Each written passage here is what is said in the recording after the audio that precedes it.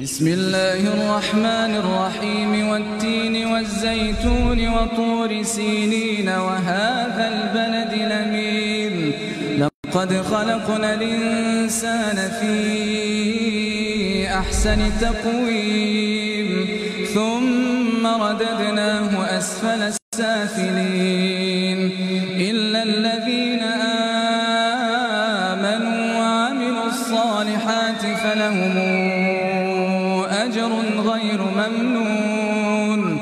فما يكذبك بعد بالدين أليس الله بأحكم الحاكمين؟